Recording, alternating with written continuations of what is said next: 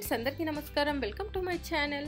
ఈరోజు వచ్చేసి smiley print స్కార్ఫ్ని అన్బాక్సింగ్ అండ్ రివ్యూ అయితే చేసి చూపిస్తాను.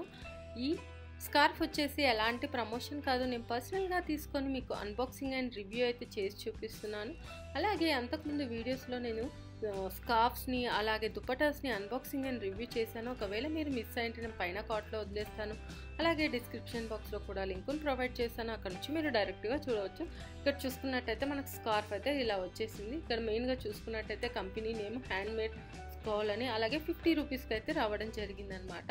ఇంత మంచి designer wear scarf fifty rupees అంటే చాలా రీజనబుల్ అని చెప్పవచ్చు ఇలాంటి వాటికి బయట మార్కెట్లో మనకు డిజైనర్ వేర్ ఉంటే కొంచెం కాస్ట్లీ ఎక్కువగా చెప్తారు. బట్ ఇదైతే నాకు ఫిఫ్టీ రూపీస్కి రావడం జరిగింది. అందులో నాకు ఈ స్మైలీ బొమ్మలు ఈ లవ్ షేప్స్ ఇవన్నీ చూసి నాకు చాలా చాలా నచ్చింది. అందుకే సోమే నేను దీన్ని తీసుకోవడం జరిగింది. ఇక్కడ సైడ్కి చూసుకున్నట్టయితే మనకు మొత్తం ఓవర్లాక్ చేసేసి రెడ్ కలర్ దాంతో అయితే హ్యాంగింగ్స్ అయితే ఇవ్వడం జరిగిందనమాట దానివల్ల ఈ కలర్ కాంబినేషన్కు రెడ్ అనేది ఎక్కువ హైలైటెడ్గా కనిపిస్తుంది. ఇక్కడ మనం ఇక్కడ ప్రింట్ చూసుకున్నట్టయితే మెయిన్ ఈ స్కార్ఫ్కి వచ్చేసి ప్రింటే మెయిన్ అని అట్రాక్షన్ అని చెప్పవచ్చు. ఇక్కడ మెయిన్ స్మైలీ బొమ్మలు వచ్చేసి అలాగే మనకు లవ్ షేప్లో అయితే మొత్తం రెడ్ కలర్ అని సైడ్కి ఇలా different different love shape symbol అయితే రావడం జరిగింది. అలాగే ఇంగ్లీష్లో మనకు లవ్ అనే స్పెల్లింగ్ కూడా రాసి ఇలా వైట్ దాని మీద వచ్చేసి మొత్తం ఇలా సూర్యకిరణాలు వచ్చిన విధంగా అయితే ప్రింట్ అయితే చాలా చాలా బాగా యూనిక్గా అయితే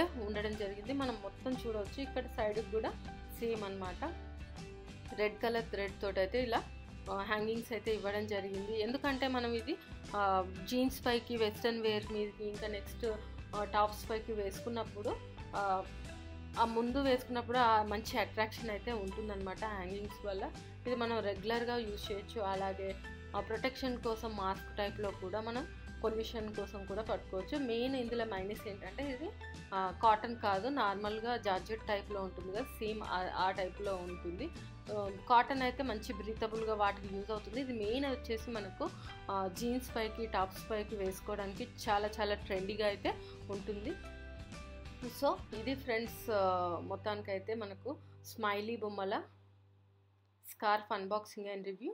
So ఈ వీడియో కనుక మీకు నచ్చినట్టయితే లైక్ అండ్ షేర్ చేయండి. అలాగే మా ఛానల్ని సబ్స్క్రైబ్ చేసుకోండి. ఇలాంటి మరిన్ని వీడియోస్ కోసం పక్కన ఉన్న బెల్ సింబల్ని కూడా క్లిక్ చేయండి. Thank you.